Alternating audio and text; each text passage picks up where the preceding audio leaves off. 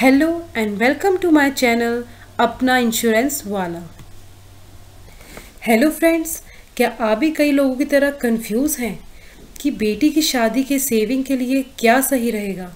कहाँ पैसा इन्वेस्ट करना सही रहेगा? कहाँ रिटर्न अच्छा मिलेगा? कहाँ पैसे सेफ़ रहेंगे? वगैरह वगैरह। तो चलिए आज इसी टॉपिक पर डिस्कस करते हैं।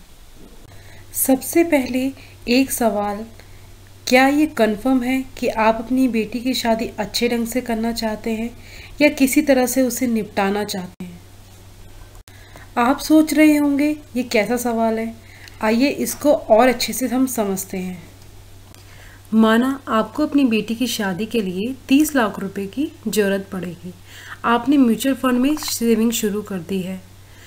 तो क्या आप श्योर हैं कि आपकी बेटी की शादी के समय मार्केट अच्छी होगी और आपको पूरे तीस लाख रुपये मिल जाएँगे? हो सकता है कि आपको चालीस लाख मिल जाए। या ये भी हो सकता है कि आपको बीस लाख ही मिले। इसी तरह बैंक और पोस्ट ऑफ़िस की घटती ब्याज दरों के कारण वो भी श्योर रिटर्न नहीं देते हैं। लैंड इन्वेस्टमेंट का हाल हम नोटबंदी और लॉकडाउन में देख ही चुके हैं।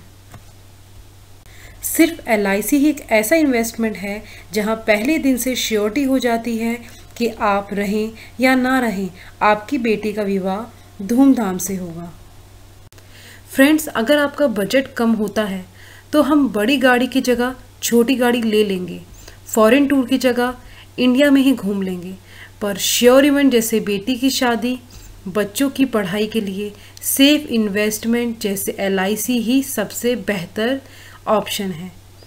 इस वीडियो से रिलेटेड किसी भी क्वेरी के लिए कमेंट कर सकते हैं। Thank you for watching please like subscribe share and press the bell icon